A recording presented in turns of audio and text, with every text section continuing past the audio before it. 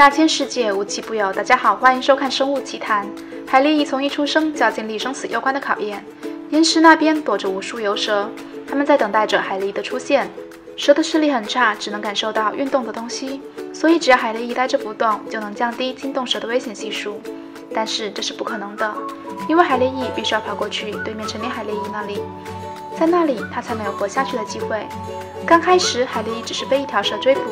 追到空旷的地方，蛇可能出门太急，没戴眼镜，连猎物在身旁路过都没发觉。这只海狸蚁只能待在原地，大气都不敢出。然而，该来的还是得来。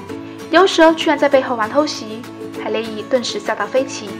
这一跑，成功的惊动了周围的蛇群，它们瞬间全体出动，前有埋伏，后有追兵。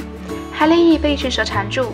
已经被群蛇圈住的海鬣蚁并不会放弃求生，在群蛇放松警惕的那一刻，海鬣蚁奋力挣脱，用尽全身力气爬上岩石，成功到达成年海鬣蚁阵地，蛇口脱险。感谢收看《生物奇谈》，下期再见。